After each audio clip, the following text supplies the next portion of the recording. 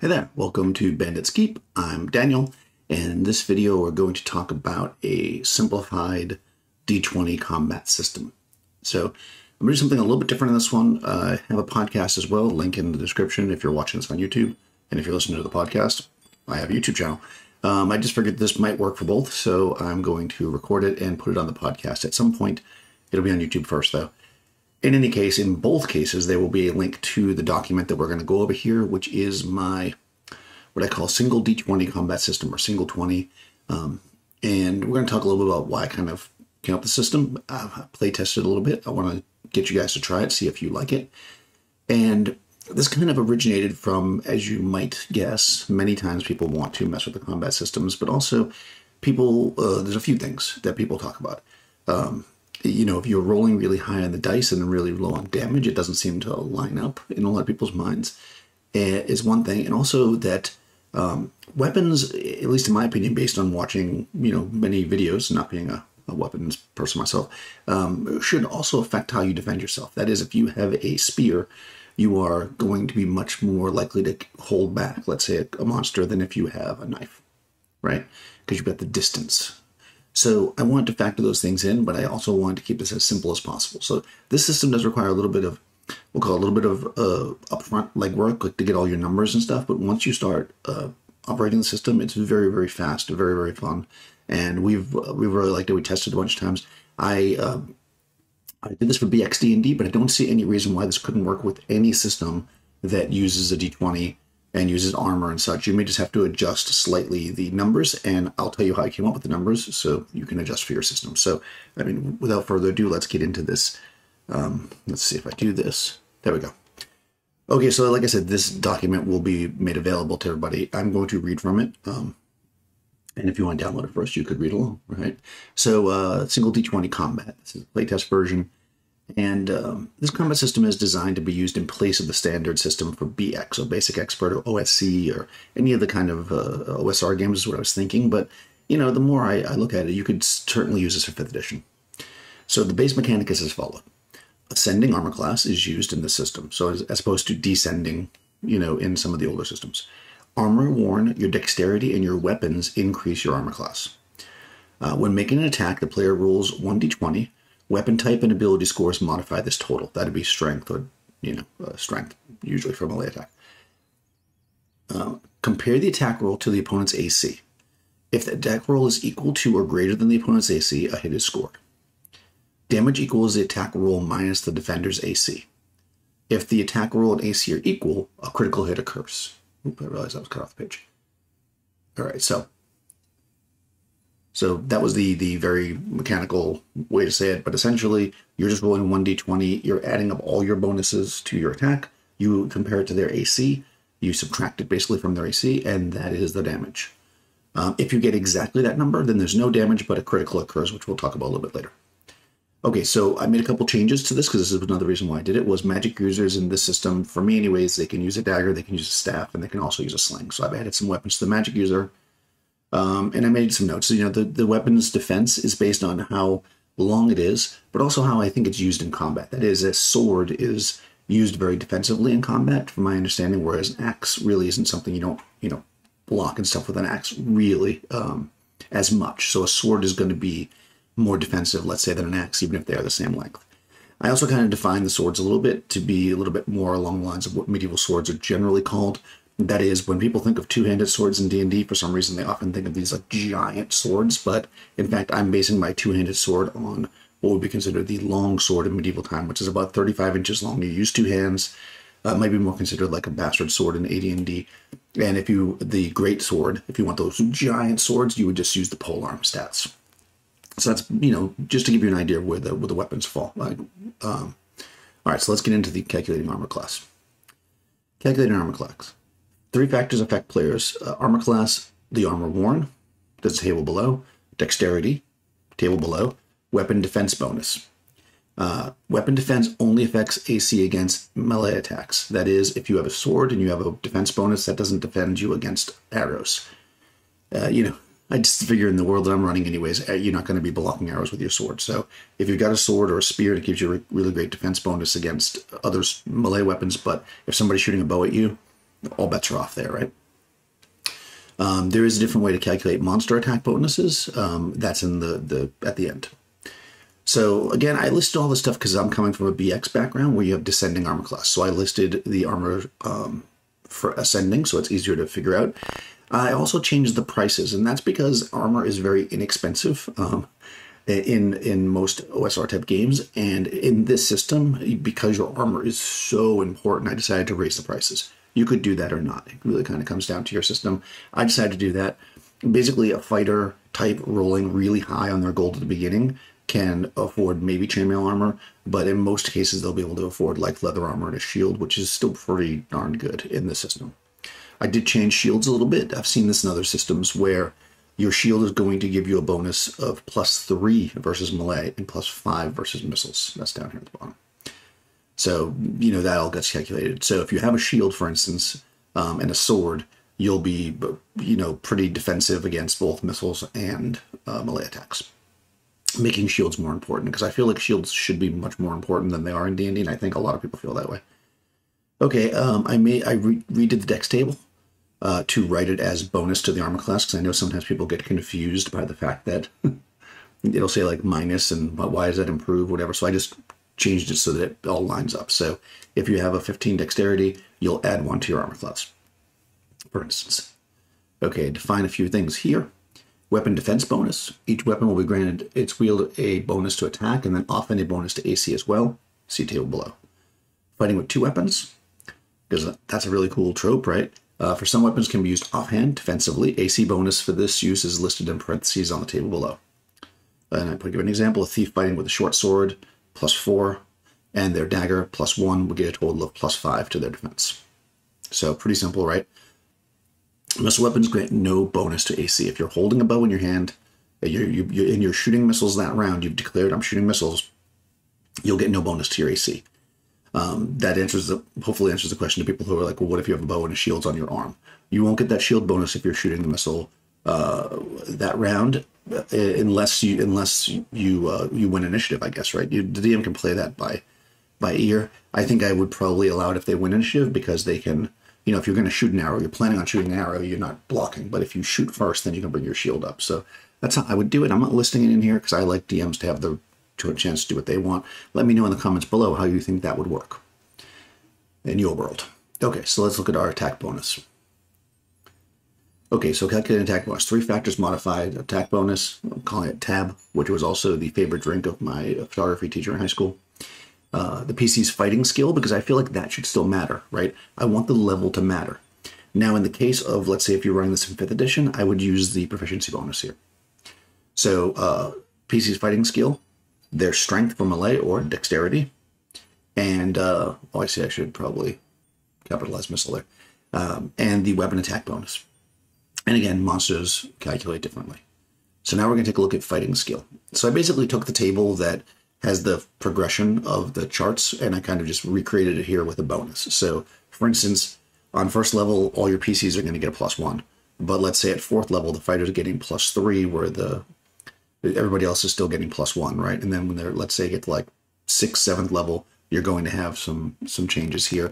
The bonuses may seem high, but remember this is uh, all this stuff's getting calculated against really high ACs again. You're going to have much higher numbers in this than um, than you would imagine. When the first time we rented it, everybody's like, "Oh, it's weird. My AC is like 25," but that's again, people have high attack bonuses, and of course, zero level humans require to get no bonus there. Okay, scrolling down, and then I basically went through the weapons. Now, the way I calculated this, and I think this will be um, somewhat important. Um, if you are figuring in um, for a different system where you want to add weapons is I pretty much looked at the average damage of the weapon rounded up. So let's say, for instance, there are some exceptions. So like a hand axe, for instance, um, does a d6 damage in BX. So that's 3.5 points of damage on average. So their attack bonus is plus four. So essentially, you could look at it these things are pretty much doing average damage. Now, there are some exceptions. Um, the battle axe, for instance, is a d8, which should be uh, 4.5 or 5 points but I made it six because I just felt like a battle axe should do a little bit more damage to compensate for the fact that if we look to the side, a battle axe is only giving you plus one to your defense. Whereas you look at another d8 weapon like like a sword, let's see. Your sword is giving you plus five to your attack, which is which is, would be the normal, you know, damage, but it's also giving you plus five to your defense. So the sword is basically um, going to be superior still in a lot of ways um, if you are using. Um, you know, a sword, you're going to do, uh, you're going to be more defensive. The sword's going to be better even if you don't have a shield, let's say. But the battle axe um, is going to be better for other things. Um, it is two-handed, so you can't have a shield there, right? But it does have, if you notice up here, I got the double asterisks next to the defense bonus. The battle axe will automatically destroy an opponent's shield if the attack roll beats the AC by four or better. So the battle axe has that advantage of destroying somebody's shield. And remember, shields are very powerful on this. So if you're facing somebody with a shield, it might be worthwhile to use the battle axe because not only are you getting one more bonus to your to your attack, so more likely to hit them, but also you are going to be able to hopefully smash their shields. So weapon choice is going to become very important here. Um, a lance is giving you plus four, um, and defense plus one. A mace is plus four, plus two, etc. And we go down the list. So this this is what I put in again. Two handed sword, um, you know, is is slightly better uh, at defending because it's longer than a regular sword, and slightly better at doing damage. Something like a spear, it doesn't do quite as much damage as a sword, but it's better at defending than a sword. So I kind of, you know, I, I put in what I thought was correct. I people who know more about combat might be might change this up for their own table, um, but I think it worked pretty well. Okay, moving on. Now, for missile weapons, I do things a little different because in BX, all the missile weapons uh, pretty much do a D6, I believe. Um, so what I decided to do was make the damage, or because it's really attack bonus, right? The attack bonus based on range. So if you're in short range with a bow or a crossbow or a, a, a longbow, you're going to um, do, uh, you're going to have more potential to hit them, which means you're going to be doing more damage. And remember that ranges vary, right? So like a longbow has a longer range, so they will they're they will be more deadly than a short bow because they're going to be in short range longer and medium range longer. It's not just the end of the range that we're thinking about; it's the the bonuses in between. So that's how I handled missile weapons. It worked pretty well. And remember, you don't if you're shooting an arrow, you're not going to get a bonus to your uh, to your, uh, your defense at all. All right, so some other considerations that came up that we kind of worked around unarmed and unarmored. I decided that if you have no armor, and this is kind of your hand to hand combat, right? So if you have no armor and no weapon, you can add your level to your armor class, and of course your dexterity. So in my example, a third level thief um, is going to uh, um, is going to have a 13 base armor class as opposed to 10, right? And you know, uh, plus dex bonus. So your average like civilian is going to have 10 because they're not they they don't have you know most people aren't going to have a bonus to dexterity, and they're going to be zero level. But a, but a level character will always have a little bit extra. A critical hit is an interesting thing because I think a lot of times people think of critical hits as being just really really really high, right? You roll a natural twenty, but obviously I couldn't do that here. So what I decided to do was make the critical hit when the two numbers match. So if somebody has a 15 armor class and you roll a 15, that's a that's a critical hit. Um, at that point, you will state what you'd like to happen. You basically can narrate it. Obviously, the DM gets the final call. You can't be like, well, I chop off their head. But it's usually something that's not going to be damage. It's going to be like knocking them prone, disarming them, breaking their weapon, something like that, right? Shattering their shield is a good one. So but these are things that, that you can do if you score exactly that number. So that's my crit. And here's how I calculate monsters. They're a little bit different. So I have two ways of doing it. Well, the the the AC is calculated the same way you basically look at the if, if you have ascending AC, let's say you're in fifth edition, you look at that and then you add to it the the hit dice of the monster. Um, if you are doing uh, a descending AC system, you well if using BX, you're going to subtract their AC from 19. That's kind of how you get your base. So if they have a six AC, then they're there's 13 to start with, right? So we subtract so we have that base AC, and then you add to it their hit dice. So a a higher hit dice monster is going to be harder to hit. That usually tracks pretty well in BX. It's not always the case. I mean, sometimes you have something like, I don't know, like an owl bear that doesn't have great armor class. Um, but again, remember this also counts as kind of like a damage soak, right? It's it's kind of part of the the way it works. So um, if they've got a high hit die, they're going to be harder to hit. And yes, this will create situations where things cannot be hit. Like things with really high hit dice might not be able to be hit by certain characters you'll need magic weapons or other things to be able to hit them, and that's just the way it'll work. And because of that, I think I might even take away the rule that is like uh, like a ghoul low, whatever. I don't know, a ghoul, a wight, let's say, it needs to be hit by a magic weapon. I might subtract that and just only keep that as a factor for really high hit dice monsters, like let's say a dragon. Okay, so as far as their attack bonus goes, you've got two methods. So I've got like an easy method and a second, uh, and a, a simple method essentially. Uh, easy and a simple. They're both easy and simple. I have two different methods. The first one, basically, you look at uh, you you start with the monster's hit die as their bonus, and then you add to it the, uh, a number based on the damage they do. So let's say that you're fighting a skeleton that is one hit die, and a skeleton does a d6 damage. You'll take one plus four, that's five, and that will be their their attack bonus plus five. That's the skeleton's attack bonus. Um, if they have multiples, you know, I've showed you here. And then the other way to do it is just take the monster's attack as five plus their hit dice. And so I did that because five is the average of D8, which is kind of, if you look at your dice, you get D4, D6, D8, D10, D12, uh, you know, uh, D8's in the middle. So I took five plus the hit dice.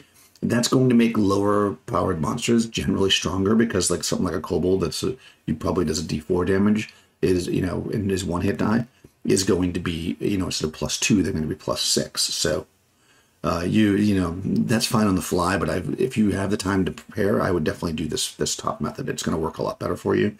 And that's what I pretty much did when I, when I did my monsters. And I mean, you could do it on the fly as well. It's not hard to do the math on the spot, but I think I'd prepare for it if I was going to just some little heads up if you're going to use this system. And then here we go. I've, I actually made a combat example so you can see this in play. I made two of them actually. So for this, I need a sip of coffee.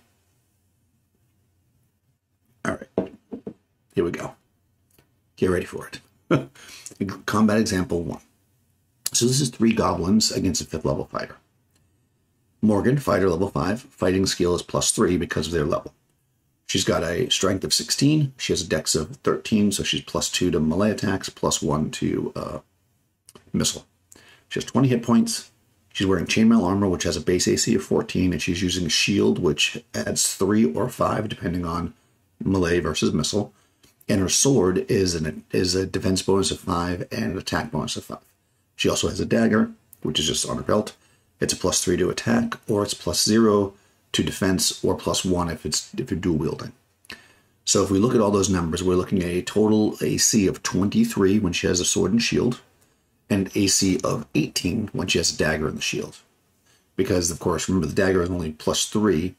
Um, uh, I'm sorry, the dagger is plus zero defense when when she's not dual wielding, so she loses five off her armor class if she uses a dagger. Her attack bonus with the sword is 10, because that's a sword is plus five. She's got plus three for her level and plus two for the strength. And with the dagger, it is um, eight, because the dagger is plus three to attack, plus three for the level, plus two for her strength. So that's why I say it's good to calculate this ahead of time. When I made pre-gens for this, I wrote it out just like this. Now, a goblin, I'm not going to read all of these, download the document to look at all of it, but basically, the simple method for a goblin would be base 6 armor class, plus 1 for the hit die. So that's going to be um, AC 14, right? And, or you could take them armed with a short sword and say um, 13 as the base, and then use the 14 as uh, the plus 4 for the short sword as their armor class. So you've got AC 17. So you see the monsters are going to be tougher when you use this other system in this case. So just keep that in mind, especially low level monsters are going to be tougher. I calculated out the other goblins here as well. And then let's get into a little bit of combat, just to show you how this works. Okay, round one. And by the way, I actually rolled this stuff. So I always roll these when I do these combats, so it's really fun to see how it works out. So we roll initiative. Morgan got a two, the goblins got a three. Goblin number one attacked with a d20. They roll a uh, an 11 plus 4. It's plus 4 because I'm using the uh, the sword as their attack, which means that they excuse me, they, they get a 15. That misses. Remember, Morgan's armor class is 23. The goblin number 2, it rolls a 19 plus 4, which actually is a critical hit. Uh, they choose to disarm her. So now her AC drops to 18 because again, she doesn't she no longer has the sword, which is giving her 5 to armor class. Next goblin now moves up to attack, rolls a 13 plus 6, which is 19, which actually now hits. If that other goblin had not disarmed her, that would have missed. Um, so it hits now and it does one point of damage. Morgan, because she lost her sword, draws her dagger Um, her AC is now 18, as I mentioned above.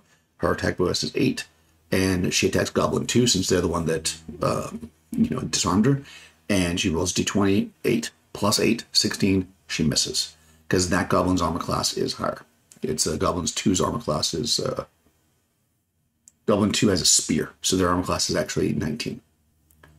So we can see here how this works. It is a little bit more because not every goblin is the same. It actually adds a, even though the system itself is simple in the sense you just roll a d20, it adds a lot of flavor, especially to the monsters when they use weapons because every one of these goblins is a little bit different. And your player characters can choose, oh yeah, I want to go after the one with the spear because I know that one's going to be, you know, more dangerous to me. Or maybe the one with the spear they know is going to be the hardest one to hit. So they want to go after the one that has a dagger or a battle axe because they're going to be easier to hit and you can really start to figure out, uh, you know, you can use strategy. That's a little level of strategy, but it doesn't add a lot of math. So I like the system. Let me know what you guys think. I had this whole combat's written out. I'm not going to read it all. I also give a combat uh, example of the the using the the unarmed and unarmored uh, technique here. Uh, so we can look at this uh, from a bunch of different angles like I said, I love messing with the the systems, the, the combat. If you don't know, I mean, if you've gotten this far and you're on the YouTube channel, um, on my podcast, I talk a lot about using chainmail with original Dungeons and Dragons. I've really gotten into that. It's really fun to kind of mess with the combat and see how it works. It becomes a little bit of a different game because I think that so much of modern D and D is roll a d20, try to hit a target number, and, and many clones as well. And I think that that just can become a lot very repetitive. So having uh, these little changes in the rules, I think, can be really fun to add a little bit to it. But let me know what you guys think. Do you mess around with the combat systems? Have you ever tried something like this? Do you want to try this? Are you going to download it? Download it and try it with your group. Let me know how it plays out. I would love to know. Um, in any case, if you haven't already, go ahead, subscribe, ring the bell, so you get notifications, all that good stuff. And I will see you next time. That was not the right button. I will see you next time.